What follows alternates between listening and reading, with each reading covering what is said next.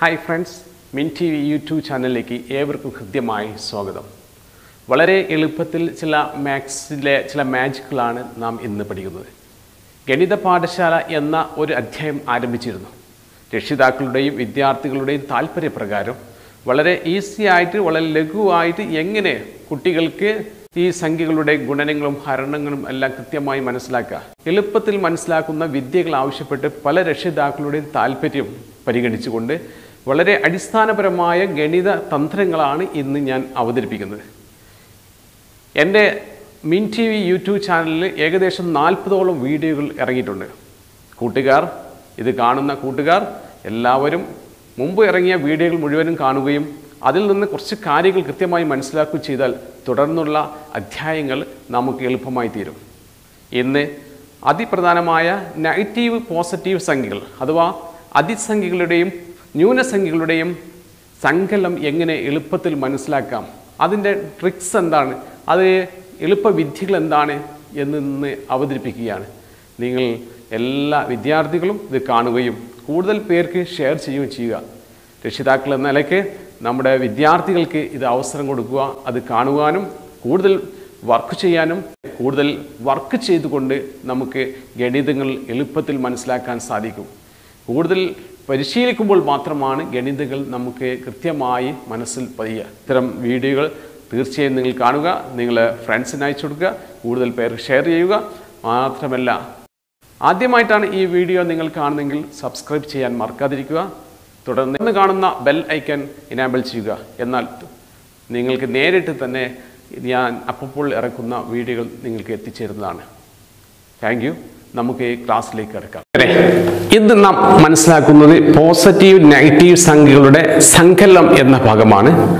ഇവിടെ ഒരു സംഖ്യാരേഖ നമുക്ക് കാണാം. ഈ സംഖ്യാരേഖയിൽ സെന്ററിലെ ഒരു സീറോ സീറോന്റെ റൈറ്റ് സൈഡായിട്ട് one two three four five six ഇങ്ങനെ അനന്തമായി നീളുന്ന സംഖ്യ വ്യൂഹമാണ്.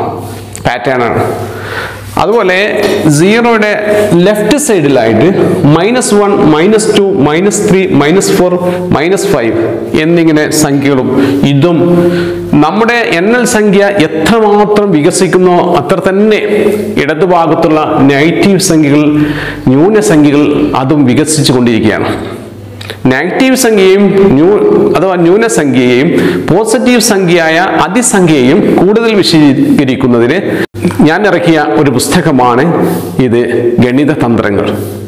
ഏത് കൂട്ടുകാർക്കും വളരെ ആവശ്യമുള്ള ഒരു ഗ്രന്ഥമാണിത്.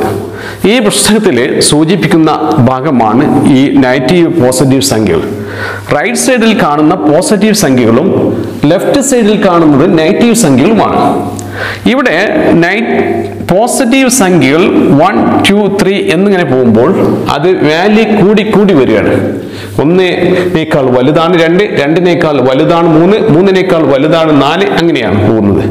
പോസിറ്റീവ് സംഖ്യകൾക്ക് നമുക്ക് വൺ ടു ത്രീ ഫോർ എന്ന് എഴുതിയാലും ശരിയാണ്. പോസിറ്റീവ് ചിഹ്നമില്ലാതെ ഈ ചെറിയൊരു പ്ലസ് എന്ന ചിഹ്നമില്ലാതെ നമുക്ക് എഴുതുന്ന എഴുതിയാലും ശരിയാണ്. എന്നാൽ നെഗറ്റീവ് സംഖ്യ അതല്ല നെഗറ്റീവ് സംഖ്യകൾക്ക് ഈ മൈനസ് എന്ന സ്മോൾ മൈനസ് ചിഹ്നം നൽകണം. അപ്പോൾ അത് നെഗറ്റീവ് സംഖ്യ. നെഗറ്റീവ് സംഖ്യകൾ വലുതാകുന്ന അനുസരിച്ച് സംഖ്യകളുടെ വാല്യൂ കൂടുന്നതനുസരിച്ച് പക്ഷേ അതിന്റെ വാല്യൂ കുറഞ്ഞു വരികയാണ്. ഉദാഹരണം നമ്പറിൽ ത്രീ മൈനസ് ത്രീക്കാൾ വലുതാണ് ആര്? മൈനസ് ടു ഗുഡ് മൈനസ് ടുവിനേക്കാൾ വലുതാണ് മൈനസ് വൺ എന്നാൽ മൈനസ് വണ്ണിനേക്കാൾ ചെറുതാണ് നെഗറ്റീവ് ഫോർ നെഗറ്റീവ് ടുവിനേക്കാൾ ചെറുതാണ് നെഗറ്റീവ് ഫൈവ് നെഗറ്റീവ് ഫൈവിനേക്കാൾ ചെറുതാണ് നെഗറ്റീവ് ടെൻ ഇങ്ങനെയുള്ള ഒരു നെഗറ്റീവ് സംഖ്യകളെ പറ്റി നമ്മൾ മനസ്സിലാക്കേണ്ടതുണ്ട്. അപ്പോൾ ലോകത്തെ നെഗറ്റീവ് സംഖ്യകളെ പറ്റിയും നമ്മൾ കൂടുതൽ മനസ്സിലാക്കണം. ഇതിന്റെ സങ്കലനം ഹരണം മൾട്ടിപ്ലിക്കേഷൻ ഇങ്ങനെയുള്ള ഒരുപാട് തന്നെ ലോജിക്കൽ ഉണ്ട്. അത് അടിസ്ഥാനമായി നമ്മൾ മനസ്സിലാക്കി കഴിഞ്ഞാൽ നിങ്ങൾക്ക് ഏത് ക്ലാസ്സിലും അതിവേഗത്തിൽ ആൻസർ ചെയ്യാൻ പറ്റും. അത് നമുക്ക് പരിശീലിക്കാം. പൂജ്യം എന്നത് പോസിറ്റീവോ നെഗറ്റീവോ സംഖ്യയല്ല. അപ്പോൾ നമുക്ക് മനസ്സിലാക്കേണ്ടത് ഇതൊരു സംഖ്യാരേഖയാണ്. ആ സംഖ്യാരേഖയിൽ പോസിറ്റീവ് സംഖ്യ വലതുഭാഗത്തുള്ള സംഖ്യയും നെഗറ്റീവ് സംഖ്യ ഇടതുഭാഗത്തുള്ള സംഖ്യയുമാണ്. ഈ രണ്ട് സംഖ്യകൾ തമ്മിൽ ചേരുമ്പോൾ അതിപ്പോൾ കൂടുമ്പോൾ എന്ത് സംഭവിക്കുന്നു? ഇതാണ് ഇന്ന് നാം മനസ്സിലാക്കേണ്ടത്. കാര്യം കൂടി മനസ്സിലാക്കാം ഏറ്റവും വലിയ നെഗറ്റീവ് സംഖ്യ നമുക്ക് പറയാൻ സാധിക്കും. ഏതാ? മൈനസ് വൺ ആണ്.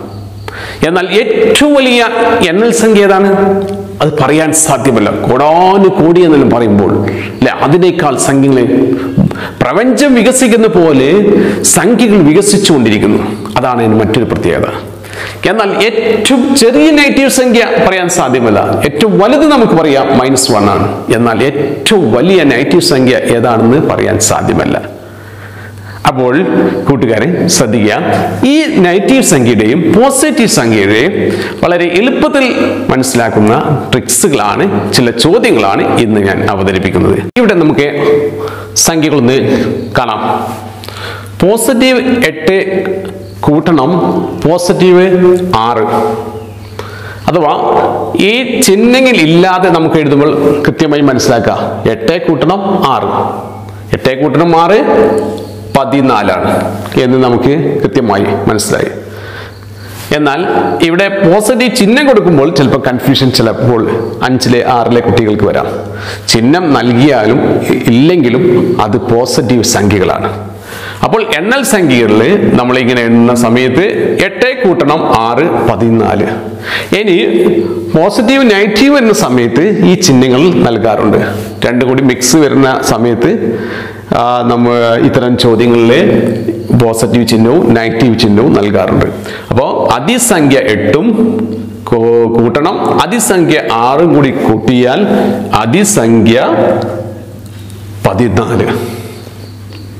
ഓക്കെ. നെഗറ്റീവായ എട്ടും കൂട്ടണം. നെഗറ്റീവായ ഏഴും കൂട്ടിയാൽ എന്താ സംഭവിക്കുക? പോസിറ്റീവ് പതിനഞ്ചാണോ അല്ലെങ്കിൽ വലുത് ചെറുത് കുറക്കലാണോ ഇവിടെ നമുക്ക് പോസിറ്റീവ് അല്ല ഇവിടെ നെഗറ്റീവ് രണ്ട് ചിഹ്നം നെഗറ്റീവാണ് അതുകൊണ്ട് നെഗറ്റീവ് പതിനഞ്ച് എന്ന് നൽകുക. ഒരു കാര്യം കൂടി നമുക്ക് പഠിക്കാം മറ്റൊന്ന് പോസിറ്റീവ് പത്തും കൂട്ടണം നെഗറ്റീവ് പതിനഞ്ച്. ഇത്തരം സാഹചര്യത്തിൽ ഒന്ന് പോസിറ്റീവാണ് ഒന്ന് നെഗറ്റീവാണ്. എങ്കിൽ ഇത്തരം സാഹചര്യത്തിൽ നമ്മൾ ക്രിയ ചെയ്യേണ്ടത് പതിനഞ്ചാണ് വലുത്. അതിൽ ചിഹ്നം ഏതാണ്? നെഗറ്റീവാണ്. നെഗറ്റീവ് ചിഹ്നമുള്ള അതിൽ നിന്ന് പോസിറ്റീവ് ചിഹ്നമുള്ള ചെറിയ സംഖ്യ കുറയ്ക്കുക അപ്പോൾ പതിനഞ്ചിൽ നിന്ന് പത്ത് കുറച്ചാൽ അഞ്ചാണ്. അഞ്ചിന് ആരാണ് വലുത്? വലുതിന്റെ ചിഹ്നം നൽകുക. അപ്പോൾ ആ പതിനഞ്ചാണ് വലുത്. പതിനഞ്ചിന് എന്താണ് നെഗറ്റീവ് ചിഹ്നമാണ് ഉള്ളത്. ന്യൂനസംഖ്യ എന്ന ചിഹ്നമാണ് അതിനുള്ളത്. ഓക്കെ അപ്പോൾ ന്യൂനമായ അഞ്ചാണ് നമുക്ക് ലഭിച്ചത്. ഇവിടെ ആരാണ് വലുത്? നെഗറ്റീവ് പതിനാറ്. വലുതാണ്? ഇവിടെ കൂട്ടണം. പോസിറ്റീവ് പന്ത്രണ്ട്. അപ്പോൾ വലുതെന്ന് ചെറുത് കുറയ്ക്കുക. വലുതെന്ന് ചെറുത് കുറച്ചാൽ നമുക്ക് പതിനാറിന്ന് പന്ത്രണ്ട് കുറച്ചാൽ ആൻസർ നാലാണ്. നാല്. അതിന് ആരാ ഏത് ചിഹ്നം നൽകണം? ചിഹ്നം നൽകേണ്ടത് നെഗറ്റീവ് ആണല്ലോ വലുത്. വലിയ സംഖ്യയിൽ എന്താണ് ചിഹ്നമുള്ളത്? നെഗറ്റീവ് ആണ്. അപ്പോൾ നെഗറ്റീവ് നാല് നടണം മറ്റൊരു ഉദാഹരണം നോക്കുക. പ്ലസ് ട്വന്റി ഫൈവ് കൂട്ടണം നെഗറ്റീവ് ടെൻ. പോസിറ്റീവ് ഇരുപത്തഞ്ചിനോട് നെഗറ്റീവ് പത്ത് കൂട്ടിച്ചേർത്താൽ എന്ത് കിട്ടും? ഇവിടെ നമ്മൾ മനസ്സിലാക്കേണ്ടത് സാധാരണ വലിയ സംഖ്യയിൽ നിന്ന് ചെറിയ സംഖ്യ മൈനസ് ചെയ്യാം. അപ്പോൾ ഇരുപത്തിയഞ്ചിൽ നിന്ന് പത്ത് മൈനസ് ചെയ്താൽ ആൻസർ പതിനഞ്ച്. അപ്പോൾ പതിനഞ്ചിൽ നിന്ന് ആദ്യം നമ്മൾ ഇടുക. ക്രിയ ചെയ്യാൻ ഇതാണ് വിദ്യ.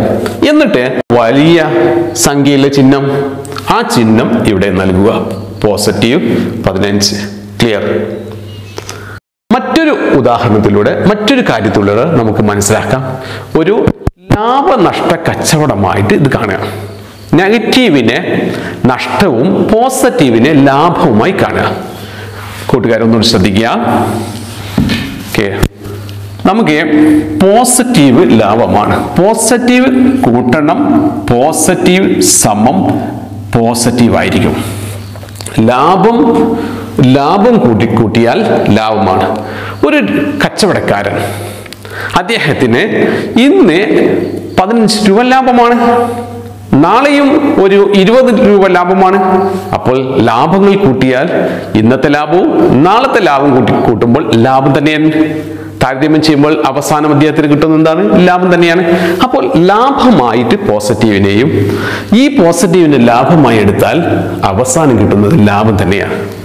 പിന്നെ നെഗറ്റീവ് കൂട്ടണം. നെഗറ്റീവ്. ന്യൂനസംഖ്യയിലെ ചിഹ്നവും അടുത്ത ന്യൂനസംഖ്യയിലെ ചിഹ്നവും കൂട്ടിയാൽ എന്ത് കിട്ടും? ന്യൂനം. നഷ്ടം കൂട്ടണം നഷ്ടം. ഇന്നലെ അദ്ദേഹത്തിന് രൂപ നഷ്ടമാണ്. ഇന്നത്തെ കച്ചവടത്തിൽ അവസാനം നോക്കിയപ്പോൾ കണക്ക് കൂട്ടിയപ്പോൾ ഒരു പത്ത് രൂപ നഷ്ടമാണ്. അപ്പൊ ഈ ലാഭവും നഷ്ടവും നഷ്ടവും കൂട്ടിയപ്പോൾ എന്താണ്? നഷ്ടം തന്നെയല്ലേ? അപ്പോൾ നെഗറ്റീവ് പ്ലസ് നെഗറ്റീവ് നെഗറ്റീവ് എന്ന് നമുക്ക് എഴുതാം.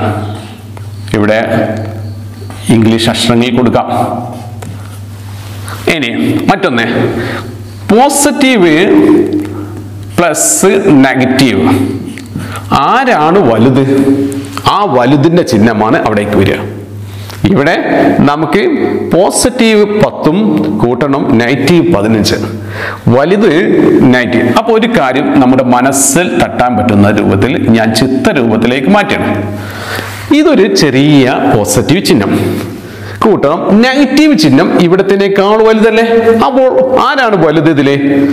വലുത് നെഗറ്റീവാണ് അപ്പോൾ നമുക്ക് നെഗറ്റീവ് കിട്ടും വലിയ നെഗറ്റീവിന് നെഗറ്റീവ് ചെറിയ പോസിറ്റീവാണ് മറ്റൊന്ന് വലിയ പോസിറ്റീവായി കൊടുക്കാം വലിയ പോസിറ്റീവ് കുറച്ചുകൂടി വലിപ്പമുണ്ട്. മറ്റേതിനേക്കാൾ വലിയ പോസിറ്റീവാണ് കൂട്ടണം നെഗറ്റീവ് ചെറുത് കൊടുക്കുക. അപ്പോൾ നമുക്ക് ആൻസർ പോസിറ്റീവ് ഇന്നത്തെ ഇന്നലെ ഒരാൾക്ക് കച്ചവടത്തിൽ ലാഭമാണ് ഉണ്ടായത്. പതിനഞ്ച് രൂപ ലാഭം ഉണ്ടായി ഇന്ന് അദ്ദേഹത്തിന് അഞ്ച് രൂപ നഷ്ടം വന്നു. രണ്ടു കൂടി താരതമ്യം ചെയ്തപ്പോൾ അദ്ദേഹത്തിന് എന്തുണ്ടായി? ലാഭമാണ് ഉണ്ടായത് ഇങ്ങനെ ഓർത്തിട്ട് നമുക്ക് ക്രിയകൾ പഠിക്കാൻ സാധിക്കും. അപ്പോൾ പോസിറ്റീവ് കൂട്ടണം പോസിറ്റീവ് പോസിറ്റീവ് നെഗറ്റീവ് കൂട്ടണം നെഗറ്റീവ് നെഗറ്റീവ് നഷ്ടവും നഷ്ടവും നഷ്ടം തന്നെയാണ്.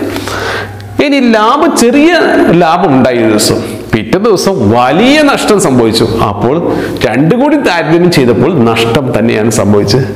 ഇനി വലിയ ലാഭം സംഭവിച്ചു. സംഖ്യ കൂടുതൽ ലാഭം സംഭവിച്ചു.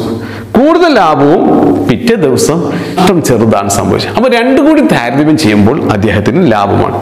ഇങ്ങനെയും നമ്മുടെ മനസ്സിൽ ഓർക്കാൻ പറ്റുന്ന രൂപത്തിൽ ഇതൊന്ന് എഴുതി വെക്കണം. നമ്മുടെ ഗണിത പുസ്തകത്തിൽ എന്റെ ക്ലാസ്സുകൾ മുഴുവൻ നിങ്ങൾ ഒരു നോട്ട്ബുക്കിൽ എഴുതി വെക്കണം.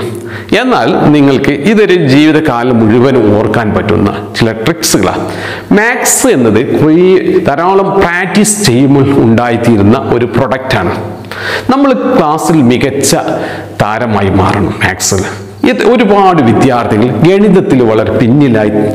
എന്താണ് കാരണം? ഈ പിന്നിലാവാൻ കാരണം ഇപ്പോൾ റിസൾട്ട് വന്നു. പ്ലസ് വണ്ണിന്റെയും പ്ലസ് ടുവിന്റെയും ടെൻത്തിന്റെയും റിസൾട്ട് വന്നപ്പോൾ എന്നോട് ധാരാളം വിദ്യാർത്ഥികൾ ഇങ്ങനെ വിളിച്ച് ചോദിക്കുകയാണ്. ചോദിക്കുന്ന സമയത്ത് അവർ മാത്സിലാണ് തോറ്റത്. സർ മാത്സ് ചെയ്യാൻ എന്താണ് ഇപ്പോൾ അടുത്ത കോട്ടയത്ത് നിന്ന് ഒരു കുട്ടി വിളിച്ചു. ആ കുട്ടിയുടെ പ്രശ്നം എന്തായിരുന്നു? മാത്സിലാണ് കുറവ്. അപ്പോൾ നമുക്ക് എന്ത് ചെയ്യാം? മാത്സ് ജയിക്കാൻ ധാരാളം പ്രാക്ടീസ് പഴയ റഫ് പേപ്പറെല്ലാം ഉണ്ടാവും പഴയ നമ്മൾ പഠിച്ച ക്ലാസ്സുകളിലെ അവസാന പേജുകളിൽ വേസ്റ്റ് പേജുകൾ ഉണ്ടാവും അതെല്ലാം എഴുതി എഴുതി പ്രാക്ടീസ് ചെയ്ത്. എന്തായാലും ഇതുപോലെയുള്ള നമുക്ക് ഇവിടുന്ന് കിട്ടുന്ന എന്റെ മിൻ ടി വിയിൽ നിന്ന് ലഭിക്കുന്ന എല്ലാ മാത്സിന്റെ അധ്യായങ്ങളും നിങ്ങളുടെ പ്രത്യേക നോട്ട്ബുക്കിൽ ശേഖരിക്കുക. ആ ശേഖരിച്ച് ഇടയ്ക്കിടയ്ക്ക് ഒന്ന് വായിച്ചു നോക്കുക. തീർച്ചയായും നിങ്ങൾക്ക് ഉന്നതമായ വിജയം കരസ്ഥമാക്കാൻ സാധിക്കും. ഇവിടെ ഒന്ന് ശ്രദ്ധിക്കാം ആ പോസിറ്റീവ് അഞ്ച് കൂട്ടണം പോസിറ്റീവ് പതിനഞ്ച്. അപ്പോൾ പോസിറ്റീവും പോസിറ്റീവും കൂട്ടിയാൽ നമുക്കറിയാം അതിന്റെ ആൻസർ പോസിറ്റീവ് തന്നെയാണ്. അപ്പോൾ അഞ്ചും പതിനഞ്ചും കൂട്ടിയാൽ ഇരുപത്. ഇരുപതിന് എന്ത് ചിഹ്നം നൽകണം?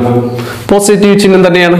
ഓക്കെ ഇനി നെഗറ്റീവ് ഇരുപത്തഞ്ച് കൂട്ടണം പോസിറ്റീവ് പതിനഞ്ച്. ഇവിടെ നമുക്ക് വലിയ സംഖ്യയിൽ നിന്ന് ചെറിയ സംഖ്യ കുറിക്കുക രണ്ട് വ്യത്യസ്ത ചിഹ്നങ്ങളാണെങ്കിൽ ചെയ്യേണ്ടത് നഷ്ടവും ലാഭവുമാണ് സംഭവിച്ചത്. അപ്പോൾ ഒരു ദിവസം നഷ്ടം സംഭവിച്ചു. വലിയ നഷ്ടം സംഭവിച്ചു. ചെറിയ ലാഭം സംഭവിക്കും. അപ്പോൾ വലുതെന്ന് ചെറുത് കുറയ്ക്കുക ഇരുപത്തിയഞ്ചിൽ നിന്ന് പതിനഞ്ച് കുറച്ചാൽ ആൻസർ പത്താണ്. ഇനി നമുക്ക് സംഖ്യ ഇരുപത്തിയഞ്ചാണ്. അതിനെന്താണ് ചിഹ്നം? നെഗറ്റീവാണ് അപ്പോൾ നെഗറ്റീവ് പത്ത് നൽകുക ഓർക്കുക. അടുത്ത് പോസ് നെഗറ്റീവ് നെഗറ്റീവാ ഒരു ദിവസം ഇരുന്നൂറ് രൂപ നഷ്ടം വന്നു. അടുത്ത ദിവസം ഇരുപത് റുപ്യ നഷ്ടം വന്നു. നഷ്ടം നഷ്ടം കൂട്ടിയാൽ എന്താണ് നഷ്ടം തന്നെയാണ്. നഷ്ടം അപ്പോൾ നെഗറ്റീവ് ഇരുന്നൂറ്റി ഇരുപത് എന്ന് എഴുതുക. ഓക്കെ വെരി ഗുഡ് വളരെ ഫാസ്റ്റ് ടൈപ്പ് ആണ് നെഗറ്റീവ് അൻപത് കൂട്ടണം പോസിറ്റീവ് ഇരുപത്. ഇവിടെ ആരാണ് വലുത്? നെഗറ്റീവ് ചിഹ്നമാണ്. അപ്പോൾ നേരത്തെ തന്നെ നമുക്ക് നെഗറ്റീവ് ചിഹ്നം കൊടുക്കാം. വലിയത് നെഗറ്റീവ് ചിഹ്നമാണ്. ഇനി അൻപതിൽ നിന്ന് ഇരുപത് മൈനസ് ചെയ്യുക. അപ്പോൾ ആൻസർ നമുക്ക് മുപ്പത് എന്ന് ലഭിച്ചു. ഗുഡ് ഇനി അടുത്ത ക്വസ്റ്റിലേക്ക് പോവാ. നെഗറ്റീവ് പതിനഞ്ച് കൂട്ടണം പോസിറ്റീവ് ആരാണ് ഇവിടെ വലുത്? മുപ്പതാണ് വലുത്. അപ്പോൾ വലിയതിന്റെ ചിഹ്നം നമുക്ക് പോസിറ്റീവ് ആദ്യം കൊടുക്കുക. ക്ലിയർ ഇത് പഠിച്ചു കഴിഞ്ഞാൽ ഈ ചിഹ്നങ്ങൾ പരസ്പരം ഇടാൻ നമുക്ക് മനസ്സിലാക്കി കഴിഞ്ഞാൽ സംഖ്യയിൽ കൂട്ടാൻ ഹരിക്കാനും ഗുണിക്കാനും എല്ലാം എളുപ്പമാണ്. അപ്പോൾ മുപ്പത് നിന്ന് പതിനഞ്ച് മൈനസ് ചെയ്താൽ നമുക്ക് ആൻസർ പതിനഞ്ച്. അപ്പോൾ ചിഹ്നങ്ങൾ വളരെ ശ്രദ്ധിക്കുക. പോസിറ്റീവ് പോസിറ്റീവ് പോസിറ്റീവ് നെഗറ്റീവ് വലിയ നെഗറ്റീവ് ചെറിയ പോസിറ്റീവ് അപ്പോൾ നെഗറ്റീവ് ചിഹ്നം. Negative negative. നഷ്ടവും നഷ്ടവും നഷ്ടം തന്നെയാണ്. അപ്പോൾ ഇരുന്നൂറ്റി ഇരുപത് നഷ്ടവും ലാഭവും വന്നാൽ ഒരു ദിവസം നഷ്ടം വന്നു ഒരു ദിവസം ലാഭം വന്നു. അപ്പോൾ വലുതിന് ചെറുത് കുറച്ച് ചെറുതിന്റെ വലുതിന്റെ ചിഹ്നം. ഓക്കെ ഗുഡ് ഇതുപോലെ അടുത്ത സംഖ്യകളും ഇതുപോലെ ചെയ്യാം. നോക്കൂ കൂട്ടുകാരെ ഇവിടെ ഒരു വലിയൊരു സംഖ്യാവ്യൂഹമാണ് പാറ്റേൺ ആണ്. അപ്പോൾ പോസിറ്റീവ് ഒന്ന് മൈനസ് മൈനസ് രണ്ട് plus three minus four plus five minus six plus seven എന്നീ സംഖ്യകളുടെ സങ്കലനം എത്രയായിരിക്കും എന്നീ സംഖ്യകളുടെ തുക എത്രയായിരിക്കും ഇങ്ങനെ ചോദ്യം വരാറ്. അപ്പോൾ മത്സര പരീക്ഷകൾക്ക് പി എസ് സി പോലെയുള്ള മത്സര പരീക്ഷ പരീക്ഷകൾക്ക് Navodaya N M M C N T S C ഇങ്ങനെയുള്ള മത്സര പരീക്ഷകൾക്ക് വരുന്ന ഒരു ചോദ്യമാണ്.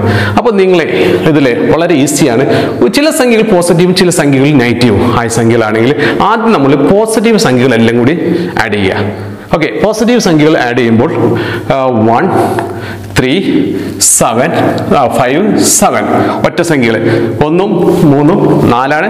നാലും അഞ്ചും ഒൻപതാണ്. ഒൻപതും ആറും പതിനാറാണ്. അപ്പോൾ നമുക്ക് എന്ത് ചെയ്യാം? പോസിറ്റീവ് പതിനാറ്. കൂട്ടണം. സങ്കലനാണ് തുക കാണാൻ വേണ്ടിയിട്ടാണ് പറയുന്നത്. ഇനി നെഗറ്റീവ് സംഖ്യയിൽ മാത്രം കൂട്ടുക. നെഗറ്റീവ് രണ്ട് നാല് ആറ്. അപ്പോൾ പത്തും പന്ത്രണ്ട്. നെഗറ്റീവ് പന്ത്രണ്ട്. അപ്പൊ നേരത്തെ നമ്മൾ പഠിച്ച അതിന് രൂപത്തിൽ ആരാണ് വലുത്? ഒന്ന് നെഗറ്റീവാണ് ഒരു ദിവസം ലാഭമാണ് ഉണ്ടായത് വലിയ ലാഭവും ചെറിയ നഷ്ടമാണ് സംഭവിച്ചത്. അപ്പോൾ വലുതെന്ന് ചെറുത് മൈനസ് ചെയ്യുക. വലുതെന്ന് ചെറുത്. ഇവിടെ കൂട്ടലല്ല മൈനസ് ചെയ്യലാണ് സംഭവിക്കുന്നത്. വലുതെന്ന് ചെറുത് കുറച്ചാൽ നാലാണ് ആൻസർ പതിനാറിന് പന്ത്രണ്ട് കുറച്ചാൽ നാല്. ഇനി ചിഹ്നം ഏതാണ് കൊടുക്കേണ്ടത്? പിന്നെ പോസിറ്റീവ് ആണോ നെഗറ്റീവ് ആണോ? ഇനി കൂട്ടുകാർക്കെല്ലാം ഉടനെ പറയാൻ സാധിക്കും. ഏത് ഏതാണോ വലുത് ആ വലുതിന്റെ ചിഹ്നം. അപ്പോൾ വലുത് പോസിറ്റീവ് ഗുഡ് അടുത്ത് ഒരു ക്രിയ എങ്ങനെയാണ്? പോസിറ്റീവ് പത്ത് കൂട്ടണം മൈനസ് അഞ്ച് കൂട്ടണം പ്ലസ് മൂന്ന് കൂട്ടണം മൈ പോസിറ്റീവ് അഞ്ച് ഈക്വൽ ടു ഇവിടെ നേരത്തെ ഇപ്പോൾ പഠിച്ച അതേ പ്രകാരം തന്നെ നമ്മൾ പോസിറ്റീവ് സംഖ്യകളിൽ ആദ്യം ആഡ് ചെയ്യുക. പോസിറ്റീവ് സംഖ്യകൾ പത്ത് പതിനഞ്ച് പതിനെട്ട്. പോസിറ്റീവ് പതിനെട്ട് മൈ കൂട്ടണം മൈനസ് അഞ്ച്. അപ്പോൾ നമുക്ക് ലാഭനഷ്ടം എന്ന് ഓർക്കുക. ഒരു പോസിറ്റീവ് ഒരു നെഗറ്റീവ് ആണെങ്കിൽ ലാഭനഷ്ടം എന്ന് ഓർക്കുക. എന്നിട്ട് ക്രിയേറ്റ് ചെയ്യുക. പതിനെട്ടിൽ നിന്ന് അഞ്ച് കുറച്ചാൽ പതിമൂന്നാണ് ആൻസർ പതിമൂന്നിന് നമുക്ക് ആരുടെ ചിഹ്നം കൊടുക്കണം? പോസിറ്റീവിന്റെ ചിഹ്നമാണോ? നെഗറ്റീവിന്റെ ചിഹ്നമാണോ? കുട്ടികൾക്ക് എല്ലാവരും ഉറക്കെ പറയാൻ സാധിക്കും. പോസിറ്റീവിന്റെ ചിഹ്നം. കാരണം അതാണ് വലുത്. വലുതിന്റെ ചിഹ്നം നൽകുക. ഗുഡ് പഠിച്ചല്ലോ? നമുക്ക് ഈ ക്രിയ കൂടി ചെയ്തിട്ട് അവസാനിപ്പിക്കുക ഒന്നിൽ കൂടുതൽ സംഖ്യകൾ. അതിലെ വ്യത്യസ്തമായ ചിഹ്നങ്ങൾ. ചിലപ്പോൾ നെഗറ്റീവ് പോസിറ്റീവ് നെഗറ്റീവ് പോസിറ്റീവ് ഇട കലർന്നുള്ള ആ സംഖ്യകളാണ് വരുന്നതെങ്കിൽ നമുക്ക് ചിലപ്പോൾ കൺഫ്യൂഷൻ വരും. കൂട്ടുകാർ ഒന്നും പേടിക്കണ്ട. ഇതിന്റെ ലോജിക്ക് എന്നത് നമുക്ക് പോസിറ്റീവ് സംഖ്യകൾ ആദ്യം കൂട്ടുന്നു പിന്നെ നെഗറ്റീവ് സംഖ്യകൾ കൂട്ടുന്നു. അത് രണ്ടും കൂട്ടിയതിന് ശേഷം അതിന്റെ ക്രിയ പോസിറ്റീവ് നമ്മൾ സങ്കലന ക്രിയ ചെയ്താൽ മതി.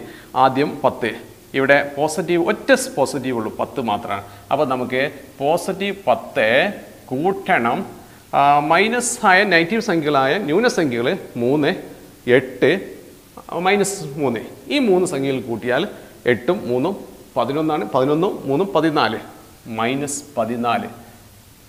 ഇനി നമുക്ക് ഉത്തരം എഴുതാൻ സാധിക്കും. ഇഷ്ടവും ലാഭം കൂടി നമ്മൾ പരസ്പരം താരതമ്യം ചെയ്താൽ നമുക്ക് കിട്ടുന്നത് വലുതിന് ചെറുത് കുറച്ചിട്ട് വലുതിന്റെ ചിഹ്നം. പതിനാലിന് പത്ത് കുറച്ചാൽ നാലാണ് നാലിന് ഏത് ചിഹ്നം വേണം? നെഗറ്റീവ് ഓക്കെ ചെയ്യാം. അപ്പോൾ അടുത്ത സംഖ്യ ഇതിലേക്ക് നോക്കാം. ഇരുപത്തഞ്ച് ഇരുപത്തഞ്ചും എട്ടും കൂടി ആഡ് ആഡ് ചെയ്യുക. ഇരുപത്തഞ്ചും എട്ടും നമുക്ക് ആൻസർ മുപ്പത്തി മൂന്ന് ഓക്കെ പോസിറ്റീവ് ആണത് നെഗറ്റീവ് നെഗറ്റീവും കൂട്ടുക. യെസ് മൈനസ് ഏഴ്. അപ്പോൾ ഇനി നമ്മൾ ചെയ്യേണ്ടതാണ് പോസിറ്റീവ് മുപ്പത്തി മൂന്നിന്ന് അപ്പോൾ ഒരു ദിവസം ലാഭമാണ് മുപ്പത്തി മൂന്ന് മറ്റു ദിവസം നെഗറ്റീവാണ് നഷ്ടമായിട്ട് കാണുക. ആ നഷ്ട അടിസ്ഥാനത്തിൽ മുപ്പത്തി ലഭിച്ചിരിക്കുന്ന മുപ്പത്തി മൂന്ന് കൂട്ടണം മൈനസ് ഏഴ്? അഥവാ ഇതിൽ വലിയ സംഖ്യ ഏതാ? മുപ്പത്തി മൂന്ന് അതിൽ ചെറിയ സംഖ്യ ഏഴ്.